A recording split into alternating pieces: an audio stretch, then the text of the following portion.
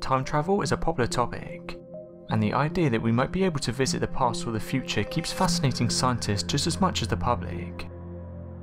Over the years there have been many claims of time travel, so in this video we take a look at some objects that could prove time travel exists. The Madonna of St. Giovannino was painted in the 15th century.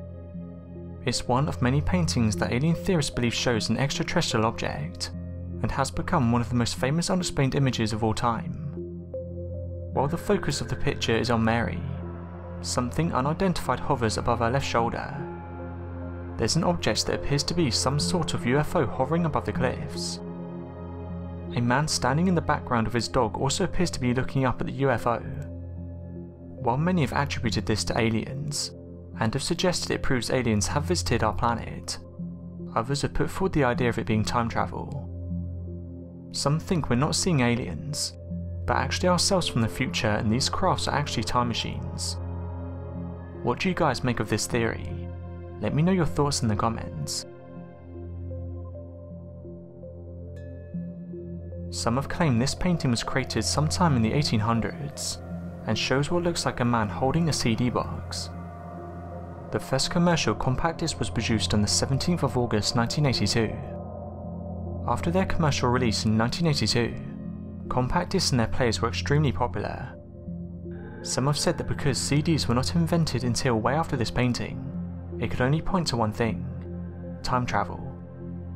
They suggest the person has slipped through time and brought with them a CD box, However, others have argued why someone from the future would bring back a CD box. The most logical explanation is that it shows an object that's being misinterpreted. There's some people out there that believe celebrities have time travelled. They point to the numerous photos that appear to show them during a different era. One person said the following Okay, I know this sounds outlandish, but hear me out. I think these celebrities time travel as a hobby. I think they're able to go back in time and do whatever they please. This is why you see so many of them in old pictures. They travel back to the date they want to and stay there for a while. This is why some celebrities disappear for a short while, only to come back. You see it all the time. Actors will take a break and then become really famous again. This is because they're time travelling in their spare time. Of course, there is no proof for this theory, People point to lookalike pictures when they talk about this theory. However, that's what most people believe we're seeing. Lookalikes and nothing more. The ocean is an incredibly vast place. To date, we have explored less than 5% of the ocean. The ocean keeps the Earth alive and covers more than 70% of the planet's surface.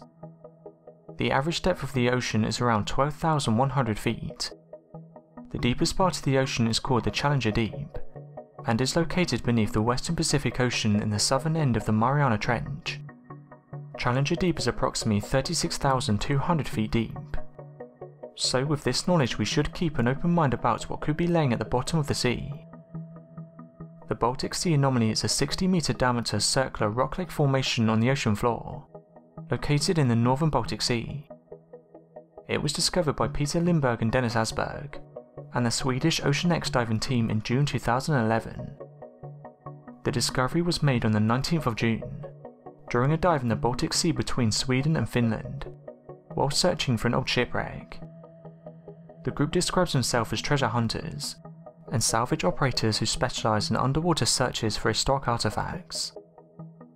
According to OceanX, the formation has an appearance of rough granite, and is 3 to 4 meters thick and approximately 60 meters in diameter.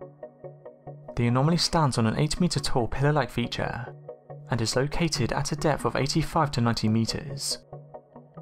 During one of their expeditions, it was reported the divers exploring the anomaly said their equipment stopped working as they approached it. Professional diver Stefan Hogeborn said the following. Anything electric out there and the satellite phones as well stopped working when we were above the object. When we got about 200 meters away it turned on again, and when we got back over the object it didn't work. Those who believe this to be a UFO have said this is a common case of UFO interference. UFOs have been notorious for stopping automobiles at close range. These effects are not limited to automobiles, but occur with all kinds of vehicles that are powered by internal combustion engines.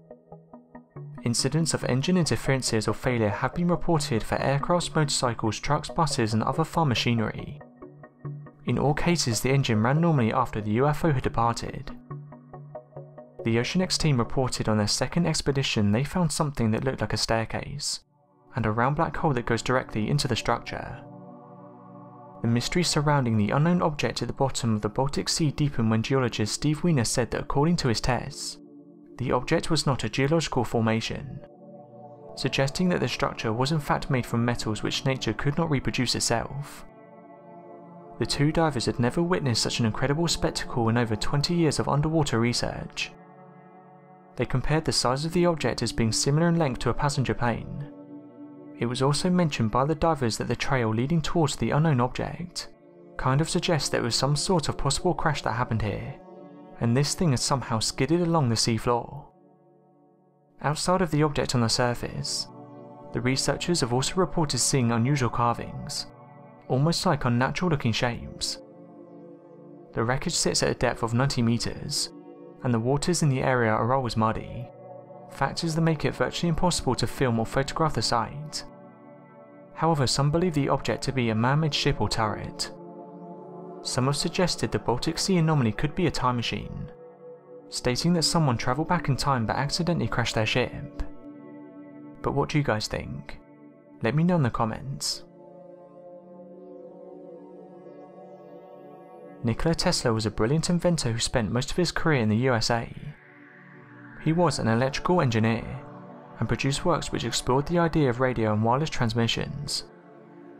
Nikola Tesla was conducting research in 1895, and this was when he got his first indication that space and time might be influenced by using a highly magnetic field. A part of the admission had come from Tesla experimenting with radio frequencies, along with power transmission through the Earth's atmosphere.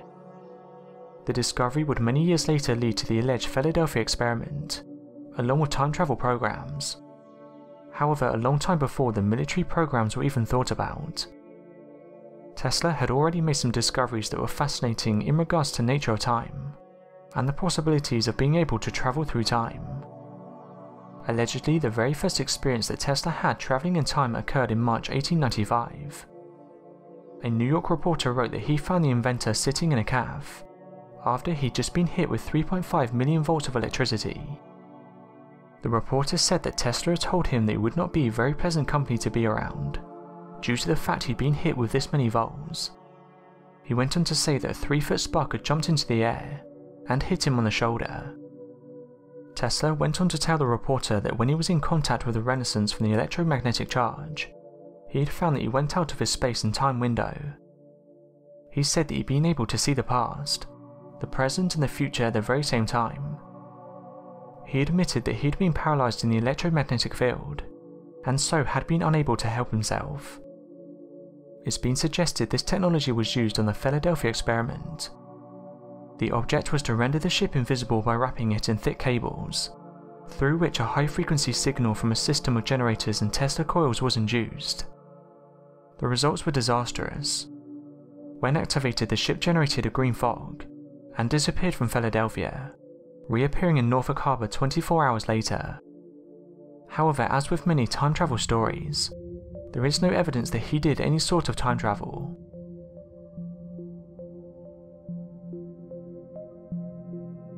A top lawyer who hopes to be the next US president has claimed he once travelled to Mars. This was part of a secret program that he says involved Barack Obama. Andrew Basiago, a lawyer who stood as an independent candidate for the US presidential election in 2016, has indicated he will contest the next one from 2020. However, recently he's become more known for his recent claims. He states that as a child in the 1960s, he took part in an alleged CIA program called Project Pegasus, in which he travelled through space and time. Mr. Basiago, who claims time travel has been possible since then, said during his college years in the 1980s he took part in another project, the Mars Jump Room program, which was part of an alleged secret program to send people to Mars.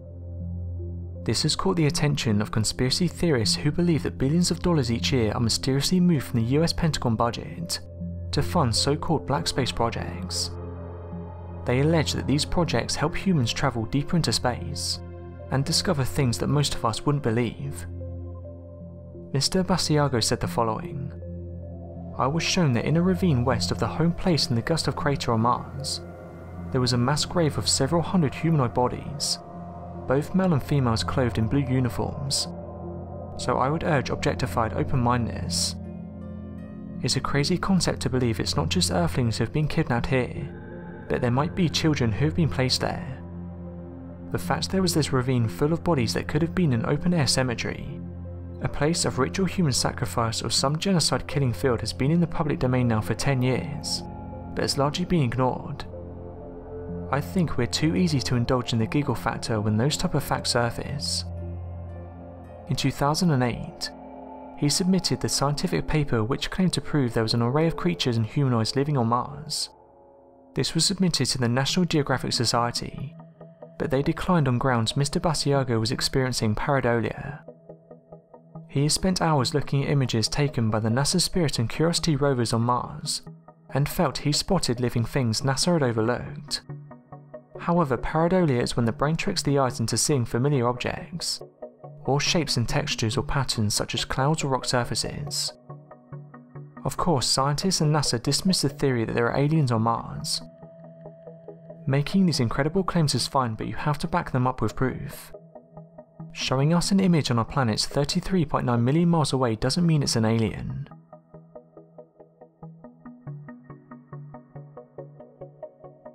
So what do you guys make of these claims? Do you think that time travel is possible? Let me know your theories in the comments.